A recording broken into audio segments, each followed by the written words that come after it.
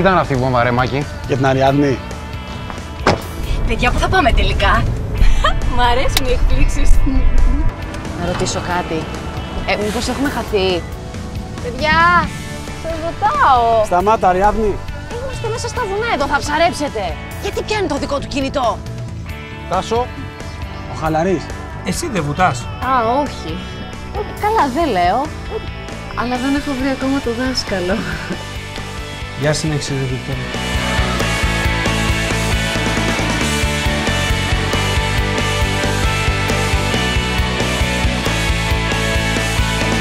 Τι είναι, έχει δύο ψάρια κάτω; Ένα, δύο, δύο.